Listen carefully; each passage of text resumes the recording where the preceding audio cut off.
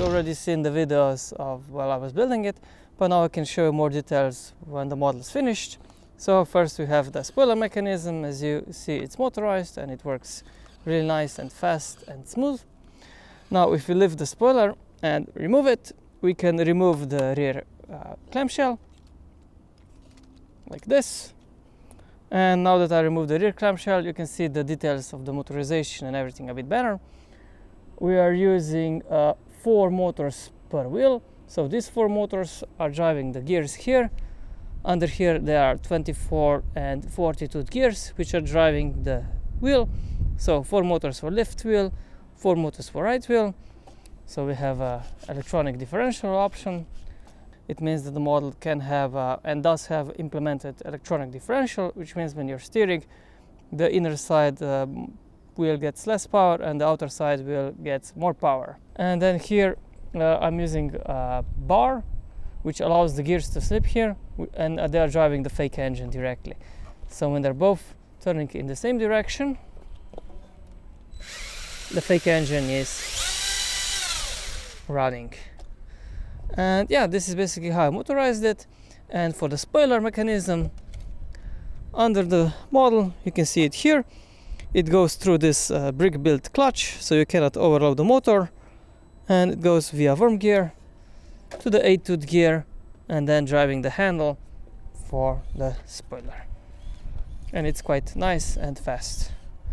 And I'm really happy with how much I managed uh, how well I managed to implement everything inside because there is almost no changes to the exterior and the motors basically reach all the way to the seats here. The only change I had to do was this little panel. I had to place it a bit lower at, at an angle, but other than that, there are no differences to the exterior. And of course, we also need to power everything. And for that, there are two BuWizz, three bricks here in the console. One more is here under the front uh, windshield and one more BuWizz brick is right here under the steering motor. The steering motor is a powered up L motor and when you're steering, the steering wheel turns with the wheels. So that functionality was also preserved. And again, we can put back on the shell. It's very easy to put on, but you have to remove the spoiler first, of course.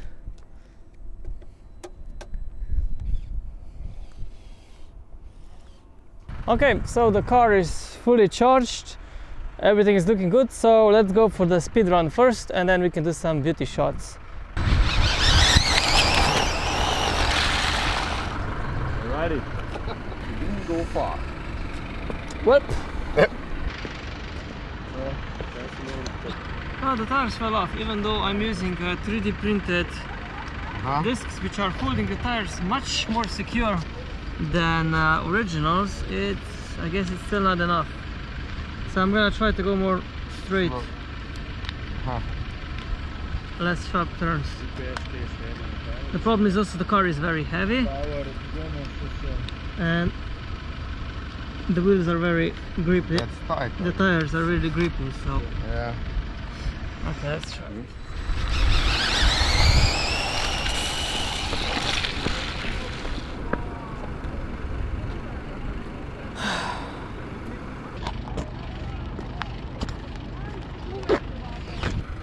so so tight and they still fall off. Yeah. See how tight they are? Yeah, and, yeah you they... barely put it on. So that's not a problem. But you said it's the I think something with the suspension geometry there's simply there's something pulling the wheels apart when you're driving. Right, let's go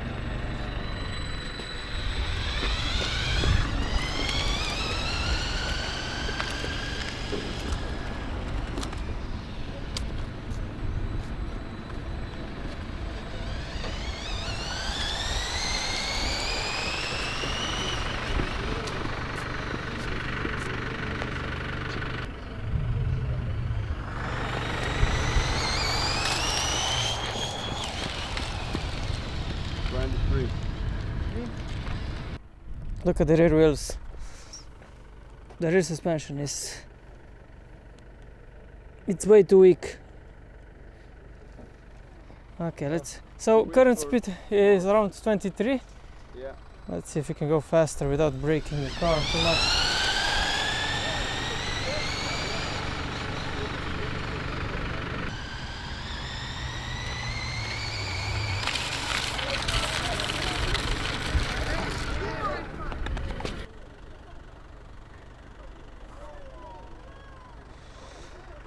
Yeah, there is nothing spinning because we broke the hub. So this is the joint and this is the bearing. There is one of the bearing wheels is missing.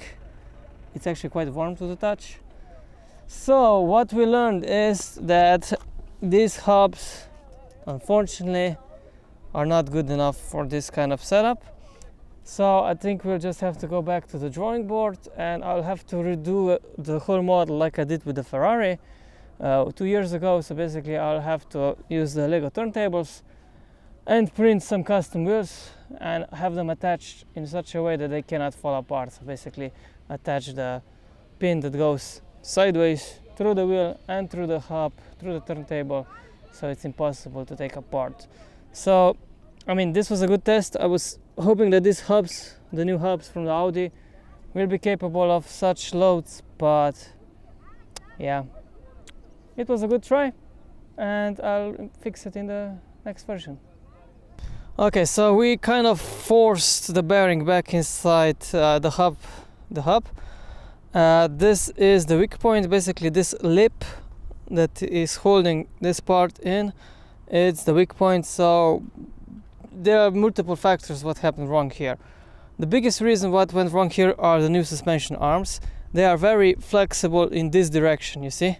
So they're very stiff in uh, direction of dri driving, but they are very flexible because they split in Y shape in this direction, which means that the suspension, the whole suspension bent, so uh, it went like camber, angle was really high, and this caused even more force on the lower part of the hub because the wheels were trying to pull it out, and well, once they pulled out, um, everything fell apart.